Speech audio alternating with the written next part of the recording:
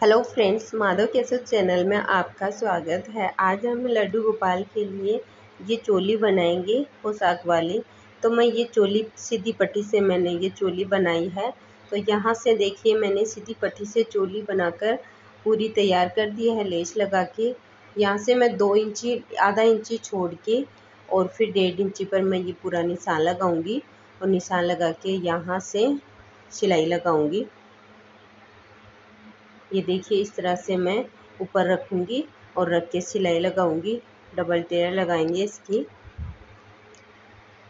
Friends, इतने दिन तक वीडियो नहीं आया तो मैं शादी में गई हुई थी, इसलिए मैं वीडियो नहीं डाल पाई। सिस्टर की शादी थी तो मैं वहाँ पे गई हुई थी। अभी मैं आई हूँ, अब कंटिन्यू आपको वीडियो मिलेगा।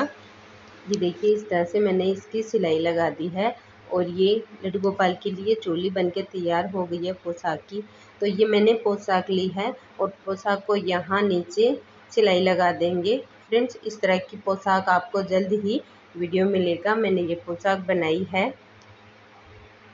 तो यहाँ पर दो सिलाई लगा देते हैं। तो ये चोली अटैच हो जाएगी यहाँ पर। पोशाक के ही। तो अलग अलग नहीं रहेगी ये चोली भी। और पोशाक के साथ ही ये चोली बन बन जाएगी। तो फ्रेंड्स ये पोशाक बनाना आपको कैसी लगी? चोली बनाना तो मुझे कमेंट में बताइए। और इस पोशाक का वीडियो आपको जल्द ही मिलेगा।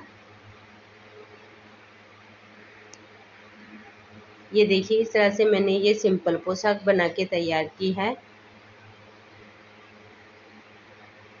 इस तरह से ये पूरी पोशाक बन के तैयार हो गई है।